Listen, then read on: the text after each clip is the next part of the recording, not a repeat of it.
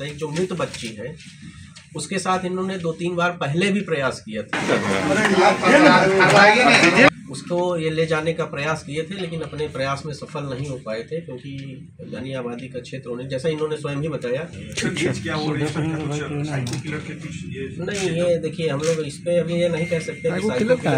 ये कह सकते हैं कि विकृत मानसिकता का व्यक्ति है जो उन्होंने खुद ही अपने पूछताछ में बताया दोनों महिलाओं ने इस व्यक्ति को दोनों लड़कियों के साथ देखा है तो ज़रूर सामने आए पुलिस को स्टेटमेंट दें। आपने देखना शुरू कर दिया। लाइव बिहार में हूँ आपके साथ असलम अब्बास। पटना के फुलवाड़ी में गैंग रेप की घटना के बाद पटना पुलिस ने इस पूरे मामले का खुलासा कर दिया है। जी हाँ पटना में एसएसपी ने प्रेस वार्ता के दौरान साफ़ साफ़ कहा है कि दो मासूम बच्ची के साथ हुई इस घटना के बाद जो भी मामला हुए थे, एसआईटी की टीम ने पूरे मामला का पर्दाफाश कर दिया है और मुख्य आरोपी को पकड़ लिया गया है। उन्होंने साफ़ साफ़ कहा कि आरोपी ने जिस तरीके से बहुत ही जघन अपराध को अंजाम दिया है उसको गिरफ्तारी के बाद अब स्पीडी ट्रायल के तहत जल्द से जल्द सजा दिलाने की कोशिश की जाएगी। सुनिए, पटना के एसएसपी राजीव मिश्रा क्या कुछ बोल रहे हैं? बैल चोरी के मामले में ये एक बार जेल जा चुके हैं हम लेकिन हम लोग उसको फर्दर जो है अपने रिकॉर्ड से वेरीफाई कर रहे हैं। क्या दोनों बच्चियों के दूसरी बच्ची के साथ भी रेप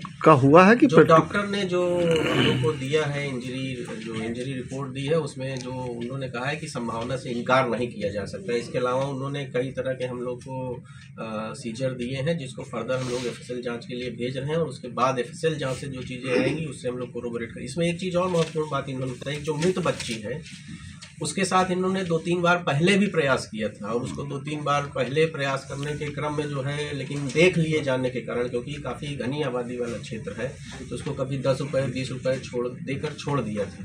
तो बच्ची जो जो मृत बच्ची है उसको ये ले जाने का प्रयास किए थे, लेकिन अपने प्रयास में सफल नहीं हो पाए थे, क्योंकि घनी आबादी का क्षेत्र होने, जैसा इन्होंने स्वयं ही बताया कि कई बार आते जाते लोग मिल जाते थे। ये घटना भी जब हुई तो उस दिन भी दो अलग अलग जगहों पर ले जाने के कारण, दो महिलाओं के आ जाने के कारण ये घटना नहीं कर पाए। यही इस चीज़ को जो हम लोगों ने बच्ची का जो स्टेटमेंट है, उससे कोरोबरेट किया। तो वो भी लगातार यही कह रही कि एक आदमी और दो महिला है। तो हम लोग ये इन्फ्रेंस ड्रा कर रहे हैं कि वो दोनों महिला वही है।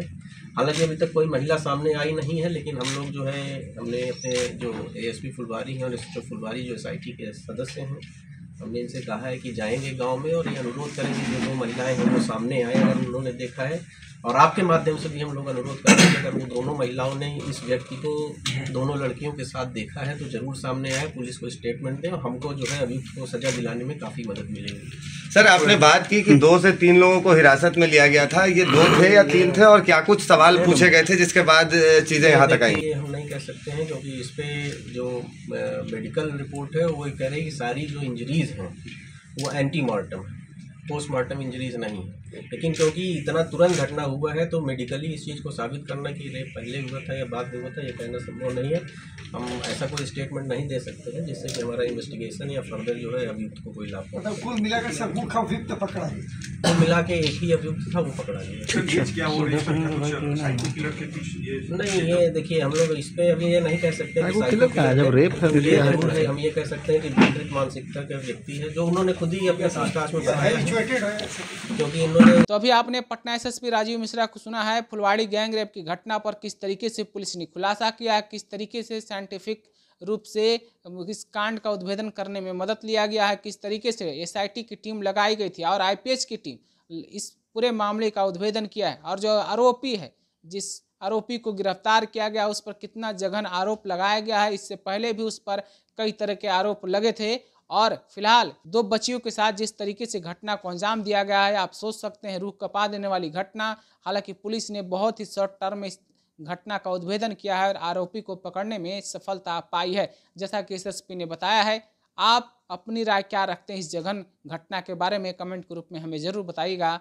तब तक लिए बने रहिए लाइव बिहार के साथ। लाइव बिहार यूट्यूब पर सब्सक्राइब और फेसबुक पर लाइक ज़रूर करें।